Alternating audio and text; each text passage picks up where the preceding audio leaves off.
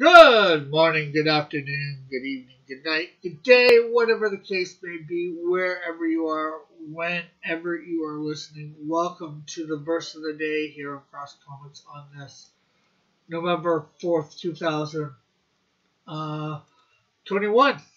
Uh, today, the verse of the day comes from John chapter 17, verse 17. Sanctify them by the truth. Your word is truth.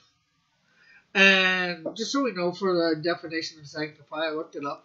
Um, there's four different possible definitions. Um, uh, one, to set apart to a sacred purpose or religious use. Uh, two, to concentrate from, I mean, to free from sin.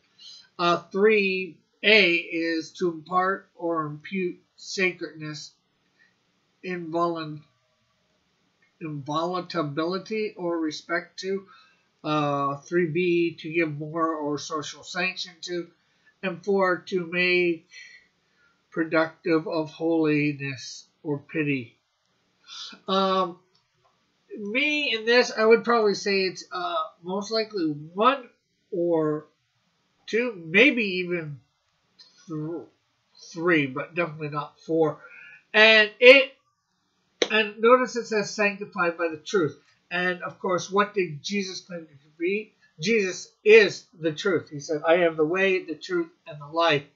And he also claimed, he, we, we also know, according to John 1 1, that he is the Word made flesh. So, you know, to sanctify them by the truth. So, sanctify us by Jesus. He, he, he is to be made we are to be at one point made free of sin for all eternity, and that is of course when he comes back um, in the clouds. And of course, we, but at the same time, here on earth, we're to be set apart. We're supposed to be a little different than the crowd.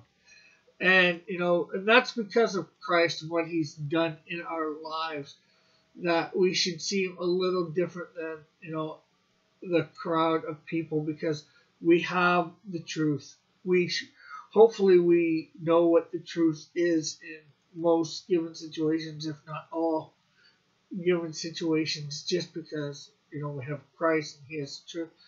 The truth should possibly resonate in us of what the truth is. Yeah, sometimes we get it wrong because we are human and our own stupidness gets in the way. Um, so uh, well, I'm not sure what else to say beyond that. I think I've covered a bit, made a decent point. So at this, I'll say bye for now. God bless. Love you all. Have a great and wonderful day. Hopefully you're back tomorrow.